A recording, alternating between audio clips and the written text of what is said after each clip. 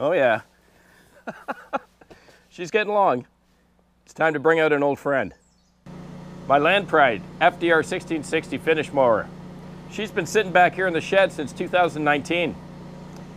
I think she needs a little TLC. We're gonna start the season off right this year. Gonna do the full maintenance on that mower before I fire it up for the first time. They're really simple to maintain. A lot of grease zerks, check on the belt, and we need to pull those blades off and get them sharpened up. And for that, we're gonna take it over to Guy's workshop. Hope you'll stick around today. Cheers.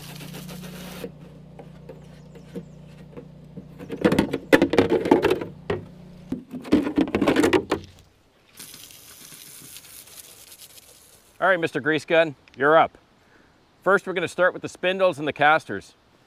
On these Land Pride units, you're gonna find a grease zerk on each one of the four spindles, and you're also gonna find underneath, if you wipe clean enough, the bearings on each caster also have a grease zerk.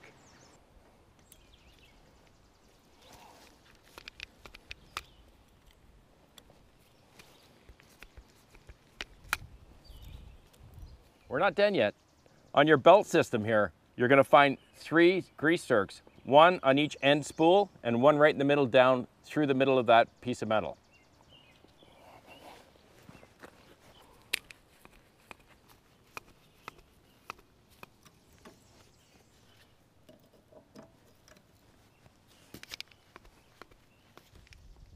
In the manual, it talks about checking the tension of this belt. I don't have one of those proper tools to measure it, but they said basically you need to be able to put about seven to 10 pounds of pressure and you should only be able to push the belt about a quarter inch with that type of pressure. I'm gonna have to wing it. What it does warn you in the manual is not to over tighten because they said it'll cause early wear or damage to some of your, your spindles or your pulleys. You're gonna do that test measurement on this part of the belt right about here. And for me, that seems pretty tight.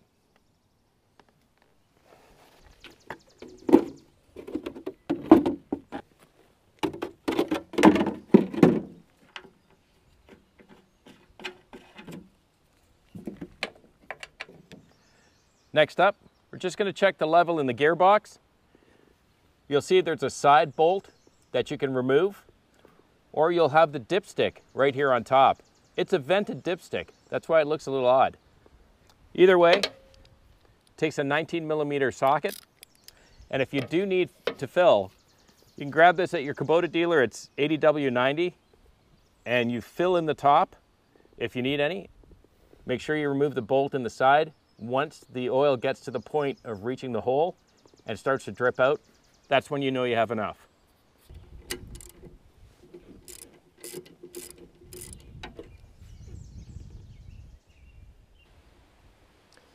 There's your dipstick. You see there's a min and a max mark on it. Drop it down, screw in but don't tighten. Let's see how we're doing here.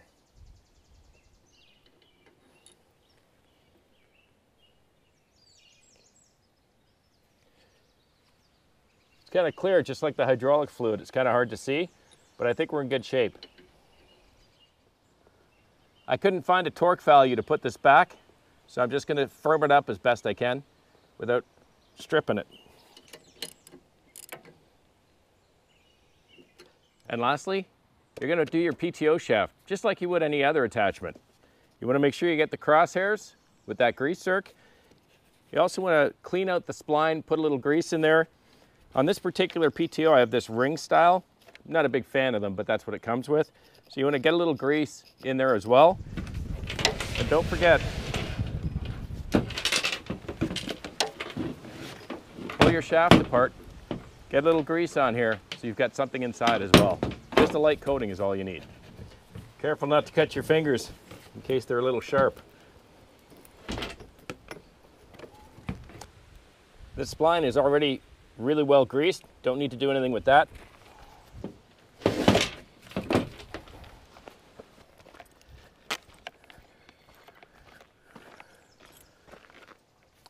Remember that one end goes to the tractor, the other one goes to the implement.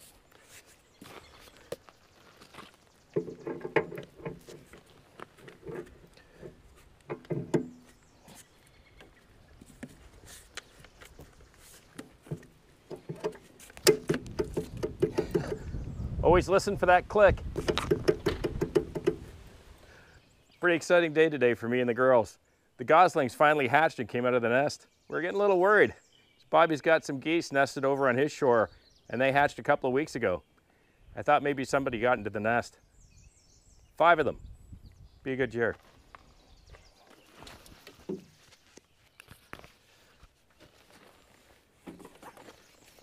I prefer using tree straps instead of chains. Doesn't scratch the paint.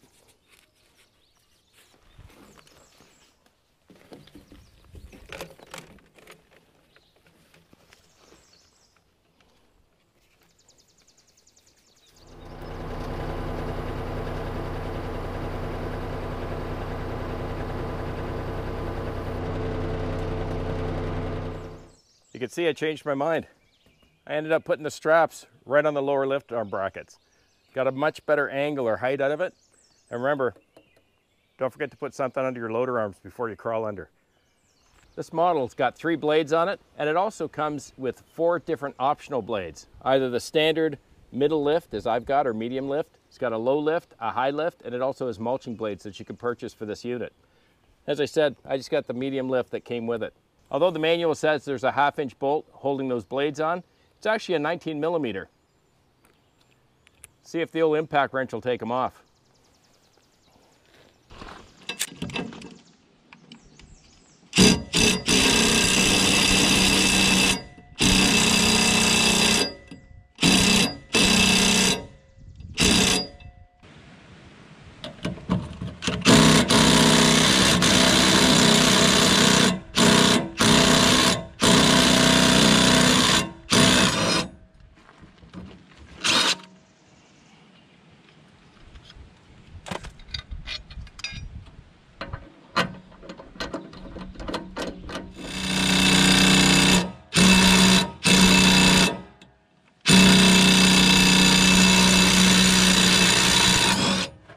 There we go. Boy, there's always one.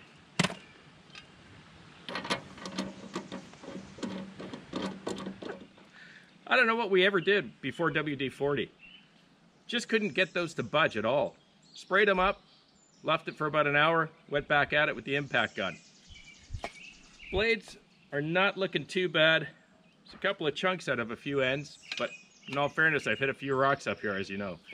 Let's head over to Guy's workshop, see if he'll help us grind these down, get them sharpened up, throw her back together, and we'll be ready for mowing.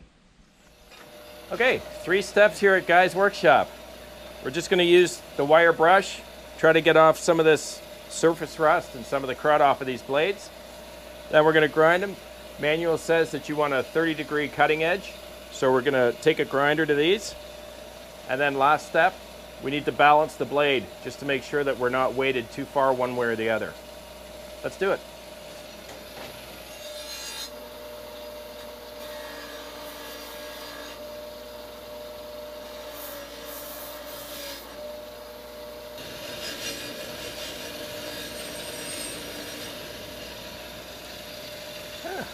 not too bad.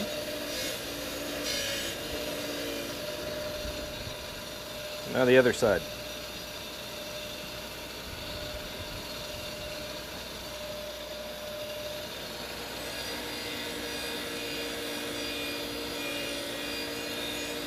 Yeah, this guy's in great shape. Okay, maybe not so much. this guy's gonna need a little bit of work. How are we doing on this one? Nice, nice edge on that. Oh, nice edge on this one. Okay, great. And this one, nice edge again. Excellent.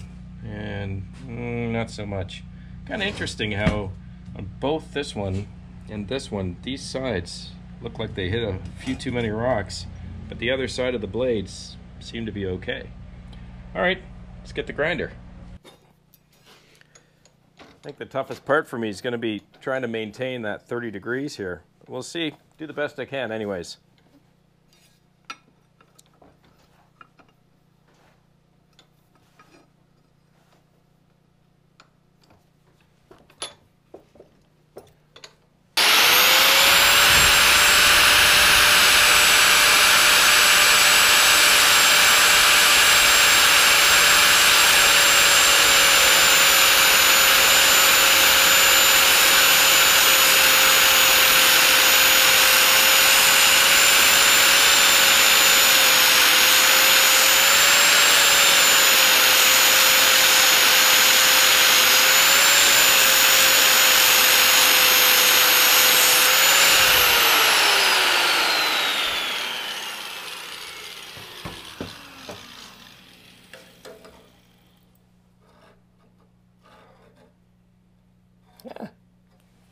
I think that works.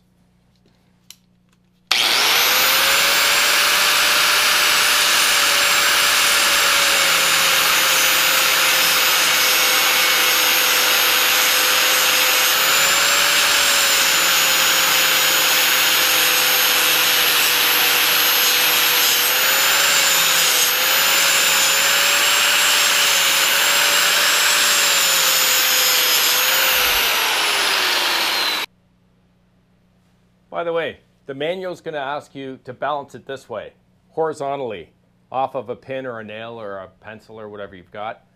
And as you can see, still doing good. Just a quick note. I got onto my third blade here. The other two were reasonably balanced. They sat pretty, pretty easy. This one here kept falling off to one side. Clearly too heavy on one side. And obviously on this side here, I've taken a couple of good chunks out of it. Probably going to be the last season for these blades. But what I did to try to balance it or remove weight is I did not go against the cutting edge and try to grind more off. I actually took it off the back of the wing because I don't think that matters. I could be wrong, but I don't believe it does. So I just ground a little bit off of the back, put her back on, and she was nice and balanced. Alrighty. Remember this spacer is going to go against the head of the bolt. So your blade is going to go through.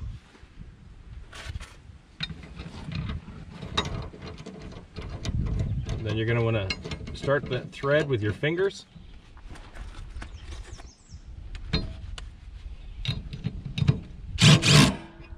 If you're not sure which way they go on, take a picture before you take them off. But either way, you don't want this U to be down, you want it up.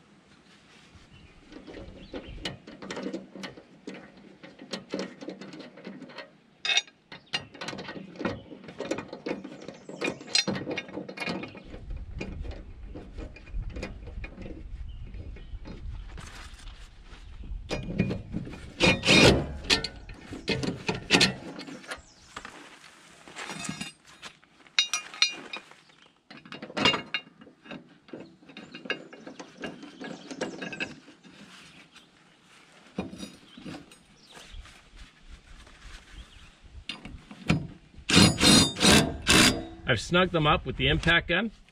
Last thing to do, 75 foot-pounds according to the manual on these bolts. And then we're done. Probably gonna want a piece of wood or something in here to help lock it in for you.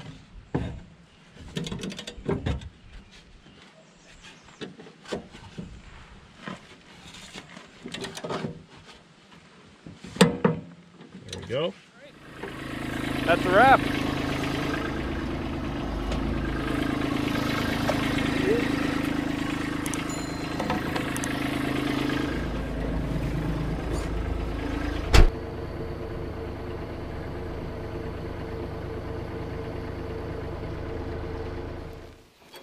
Oh, mower's all ready for action. I'm pretty sure I'm gonna need a new set of blades come the end of this season or for next season. I hope you enjoyed the video today. If you like the channel, please click subscribe, hit the like button, and if you wanna know when I'm posting videos, just click that little bell. Have a wonderful and safe week with your families. Please be kind to one another. I'll see you again right here on GP Outdoors. Cheers.